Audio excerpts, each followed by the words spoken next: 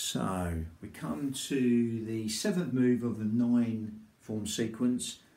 This nine form sequence is added on to 18 form sequence and a eight form sequence based on the eight brocades. So eight form and 18 form.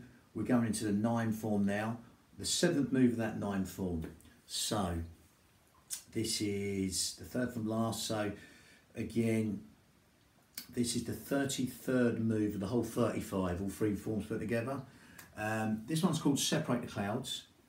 A few different ways of doing it, but again, we're gonna go more into the breathing. It's a not a traditional way, like I said on others. Um, we're gonna go more into the breathing. So we're to go into yogic Pilates and hypnotheric breath with the motion. Okay, so we're going to stick with the motion, it's just motion at the end of the day. We're going to zip up pelvic floor, scoop out your abdominals, take your navel towards the spine right now, and that's going to help you breathe anywhere but the belly button. It's going to help us breathe low and deep into these lower lobes of lungs, the intercostals, the ribs, anywhere but the stomach. Okay, lovely.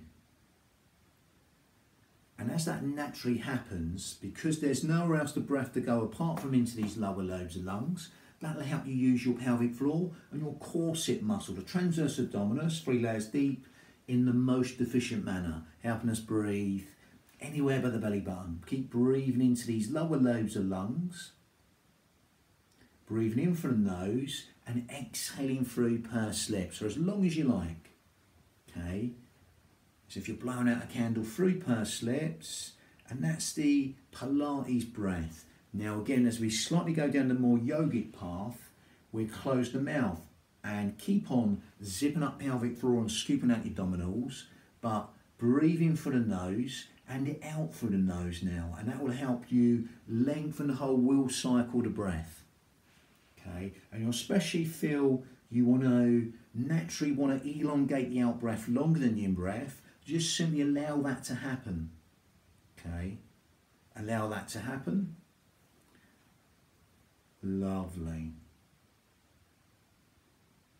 And then consciously take your mind to that out breath. Rather than the breath you, as you keep zipping up pelvic floor and scooping out your abdominals, and breathing in through the nose now, and out through the nose, through that smaller filter, that yogic breath, you can naturally rather than the breath breathe you, you breathe the breath, that out breath. You're going to naturally elongate the out breath longer than the in breath. Within your limits, quadruple it, double it, triple it, whatever you like. Just make the out breath longer than the in breath within your limits. And that stimulate the subconscious part of your mind.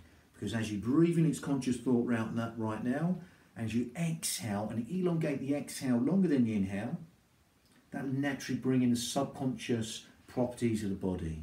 Sleep, digestion, rest, and relaxation all benefited by elongating the out breath longer than the in breath.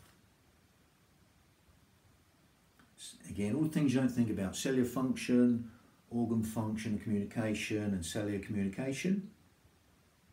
That health and renewal of the body heartbeat, blood pressure, etc., will all be benefited by elongating the out breath longer than the in breath, encouraging them parasympathetic nervous system responses and benefits by elongating the out breath longer than the in breath.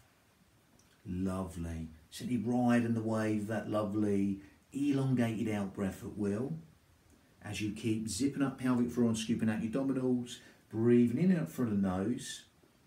And again, that just brought in the the hypnotherapy type breathing on an out breath by elongating the out breath longer than the in breath. But again, if you, we've got a mixture of Pilates, hypnotherapy there, and yoga. Again, it's just breath, just different styles. But if you do want to go a little bit more advanced with a yogic breath, and if you can, then do it. But if not, just carry on zipping up pelvic floor and scooping out your abdominals, taking your navels towards the spine. Then muscles go together, you can't do one without the other. And keep on breathing out from the nose while elongating the out breath longer than the in breath. But if you want to go to Ujjayi breath, victorious breath, you're just going to grip the esophagus, make it smaller and narrower, and you'll make this sort of sighing, whistling, silky sound. If you can't get it, don't worry, carry on doing it as you are. It's advanced breath, Ujjayi breath, victorious breath in Sanskrit. You're breathing for the nose. And exhale.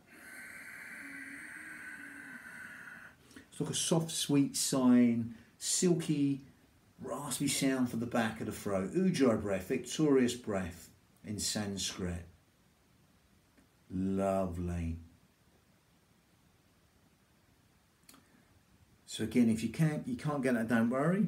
But if you can get it, again, as you can hear it more, that'll help you focus more. Natural focusing breath, ujjayi breath, that stimulate the thyroid glands, which helps with weight control, etc. Helps us build the heat in the body and fan the fire, burn all the toxins in the body. Ujjayi breath, victorious breath. Lovely. But again, if you can't, don't worry, just carry on doing the breath we were doing as we link that to motion. Okay, we can link that to motion now. So again, we're going to do separate the clouds. Again, it's two hands, one leg. So there's a lot of this goes on, a lot of Qigong motions. That's why it's so good. They open out the chest and all the organs in the chest, the heart, the lungs, the pericardium, the heart lining. As you do this, you'll feel that stretch your little pinkies, little fingers. Again, if you go down a traditional route, they believe that's the heart meridian. But again, we're not going into that.